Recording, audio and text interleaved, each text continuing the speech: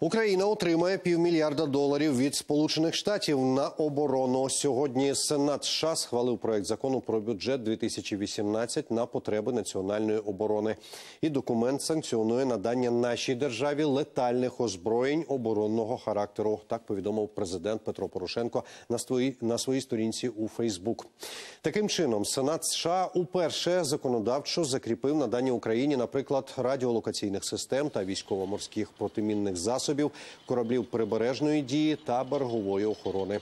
Законопроект також передбачає виділення коштів на реабілітацію поранених українських військових у Сполучених Штатах. Тепер документ має підписати Дональд Трамп.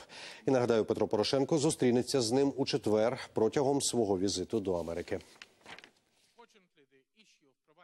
Питання надання Україні оборонної зброї в США зіткнулося з дебатами, які базуються навколо кількох тверджень. Перше, американська зброя спровокує Росію направити більше зброї на Донбас. Ні, Росія ніколи не перестане робити це. Друге, американська зброя не вирішить ситуацію. Неправда. Разом з санкціями, дипломатичним тиском вона допоможе. Третє, це може призвести до ескалації ситуації, але це дасть Росії серйозний знак і змусить її подумати двічі перед здійсненням нової атаки.